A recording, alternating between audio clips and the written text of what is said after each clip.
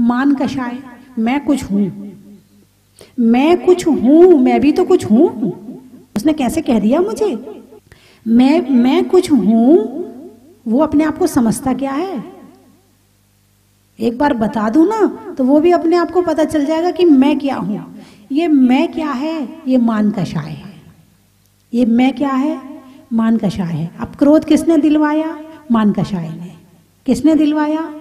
मान कषाय ने। अब मैं कुछ नहीं हूँ। मैं क्या हूँ? मैं आत्मा हूँ। आत्मा को गाली दे नहीं सकते हैं। गाली दे रहे हैं शरीर को। गाली दे रहे हैं शरीर को। और जब शरीर को गाली दे, शरीर मेरा है नहीं है। तो मैं किस बात का क्रोध करूँ?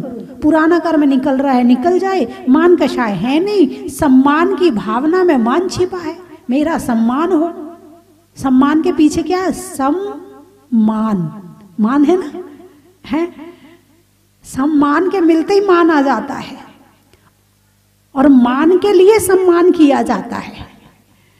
सम्मान करवाने वाले के भाव अलग होने चाहिए और करने वाले के भाव अलग होने चाहिए। करने वाले के भाव तो सम्मान के होने ही चाहिए कि इसके अंदर ऐसा गुण है, मुझे इसका सम्मान करना है। मैं इसका सम्मान करता हूँ।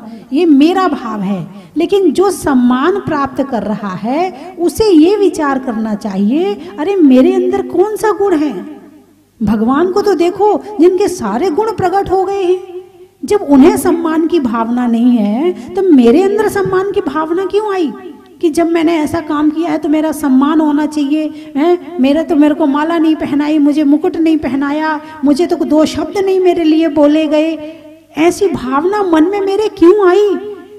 अरिहंत सिद्ध भगवान को तो देखो, सर्वगुण प्रकट होने के बाद भी अपने आत्मा के ध्यान में लीन है और मैंने जरा सा काम किया और सम्मान की भावना रखता हूँ, माला पहनने की भावना रखता हूँ।